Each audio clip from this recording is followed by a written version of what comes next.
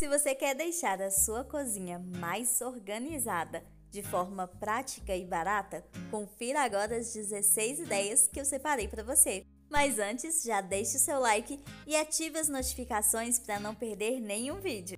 Para guardar e conservar seus alimentos, que tal colocá-los em garrafas como essas? Você ainda pode personalizar como preferir. Mas se você gosta de plantar seus temperinhos, que tal essa sugestão de plantar em latinhas como essa e pintar da sua preferência? Já para aqueles temperos em grãos ou em pó, essa é a solução perfeita. Basta adicionar um imã à tampa do seu potinho predileto e organizá-los da forma que preferir. Painéis perfurados como esse podem ser uma forma super prática de organizar a sua cozinha, principalmente se você não tem muito espaço. Você ainda pode adicionar cestinhos como estes em ganchinhos para dar um toque mais rústico. Uma outra opção é aproveitar uma moldura antiga com uma telinha, daquelas que a gente acha em material de construção mesmo.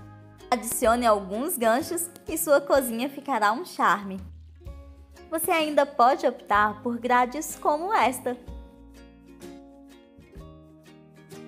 E que tal dar vida e utilidade nova para aquele seu ralador que já não ralava mais nada? Xícaras antigas também podem ser usadas para pendurar seus talheres.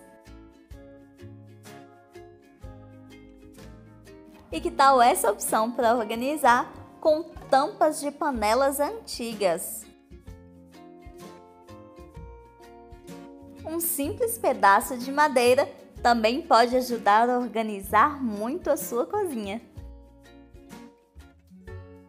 Para dar um toque mais rústico, você ainda pode utilizar um rastelo, veja só! E até um suporte de globo antigo pode ser usado para colocar o seu papel toalha. Livros de receita antigas também podem se transformar em um lindo suporte para suas facas.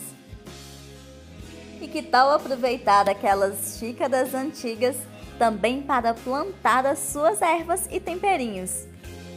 Caixotes de pallet também podem se transformar numa linda fruteira. Mas me diga, qual dessas ideias você mais gostou? Me diga também de onde você vê esse vídeo. Eu vou deixar para você duas sugestões de vídeos que você também vai gostar. É só clicar no seu predileto.